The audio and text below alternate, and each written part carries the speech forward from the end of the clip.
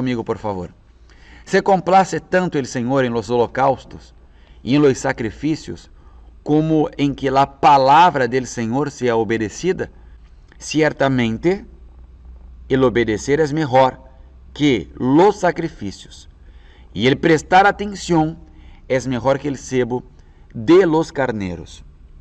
¿En qué contexto Dios o en la Biblia el profeta inspirado por Dios habló esta palabra? En la ocasión en que Saúl ele foi apresentar a Deus sacrifício, sendo que não era para ele haver hecho el sacrifício.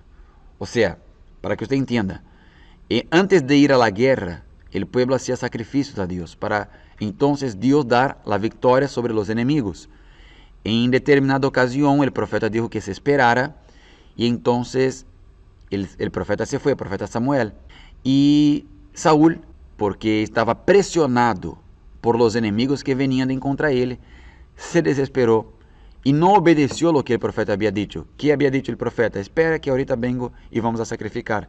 Ele não podia hacer aquele sacrifício, então se desesperou, bajo la pressão, sacrificou. Então o profeta chegou e disse assim: Mira, que has, que has hecho, Saúl? Porque agora confirmaria Deus tu, tu reinado e te daria muitas bendições e seria contigo. Mire que interessante, a Bíblia diz que o Espírito de Deus se quitou, se retirou de Saúl. ¿Por quê? Porque ele sacrificou, mas não obedeceu. A obediência es el mayor sacrificio, porque la obediencia es hacer lo que Dios manda, el sacrificio es hacer lo que usted quiere. Y ahí viene la diferencia entre dos sacrificios que hay. El sacrificio en que usted hace lo que usted quiere, lo que a usted le parece, lo que a usted le gusta, y el sacrificio que es hacer lo que Dios manda. Cuando hacemos lo que Dios manda, no siempre hacemos lo que a nosotros nos gusta. Y la bendición de Dios para nuestra vida está justamente en la obediencia. Mire este versículo que les voy a poner. Ahí está, le va a aparecer en su celular. Por la fe, Abraham sendo chamado, que? Obedeceu para sair ao lugar que havia de receber como herança. E saiu sem saber aonde ia. Então, mire você como a fé ele está completamente eh, conectada à obediência. Você não pode dizer que tem fé, eh, uma fé de Deus ou na fé com Deus se você não consegue obedecer. Você não pode dizer, ah, eu obedeço a Deus, eu creio em Deus, pero eu eh, não consigo obedecer o que Deus manda. Então, não, você não, na verdade, sua fé não serve. Sua fé não é verdadeira. Porque Abraão, por la fé, quando foi chamado, ele obedeceu. Essa é fé. Fé é obediência. É fazer o que Deus manda, é fazer o que Ele quer não o que você quer. Então, muitas pessoas pensam, ah, eu tenho fé, eu vou sacrificar, pero o sacrifício não é um sacrifício que agrada a Deus. Por quê? Porque você está fazendo o que você quer e não o que, o que Deus manda. Há várias ocasiões na Bíblia que nos mostra que fazer sacrifício sem obediência não serve. E aí entra coisas muito interessantes. Que pontos le quero abordar aqui com você? Mira, quando é que nasce a religiosidade? Porque há muita gente religiosa dentro da igreja que não cambia de vida. Por quê? Porque faz coisas de maneira repetitiva, ou seja, é religioso. Lo está haciendo por hacerlo, no está haciendo de todo corazón. Ahí está la palabra.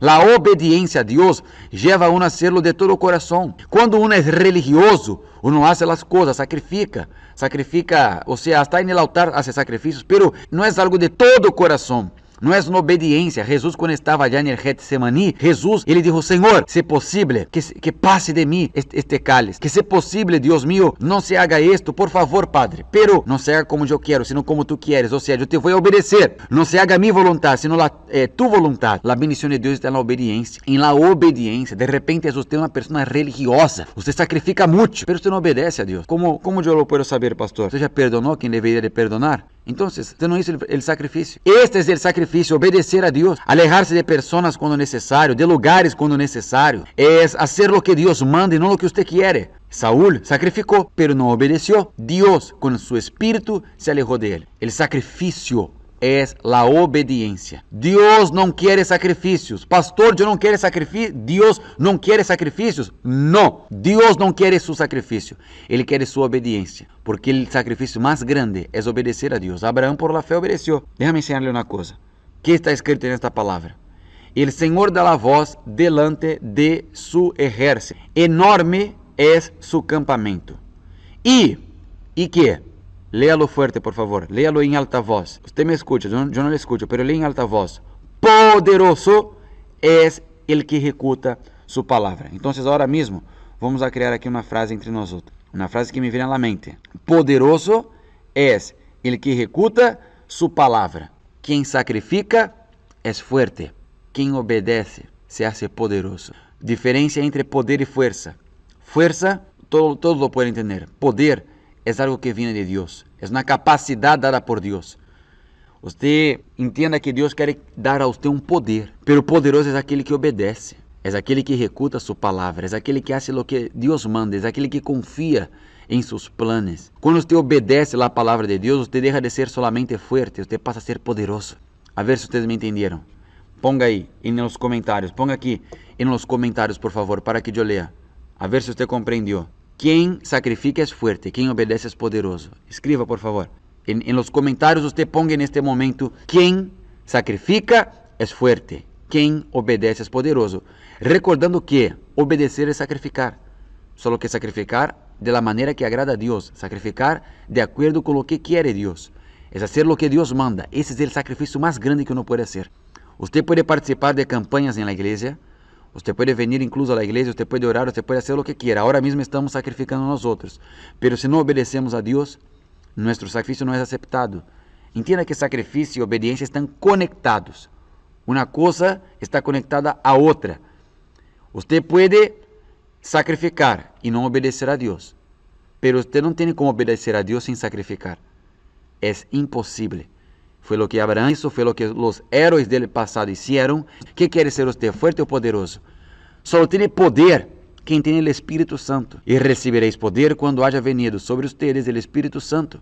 Pero este poder vem a los que obedecem, e quem obedece sacrifica. Abraão, por la fé, quando chamado, que isso? Sacrificou? Sí. Como você obedeceu? Se você não obedece o que Deus manda, se você não põe por obra, se você não lo de nada serve que você esteja aqui despertando é, temprano para orar e solamente estar orando e solamente estar escutando-me. Você tem que entender que a obediência traz resultado, pero é a obediência a Deus, não é sacrificar o que você quer, não é fazer o que você quer. Quem sacrifica é forte, quem obedece é poderoso. Vê as pessoas que obedeceram a Deus. Eram fortes? Sim, pero muito mais que forte, eram poderosas. Quem executa a sua palavra é poderoso.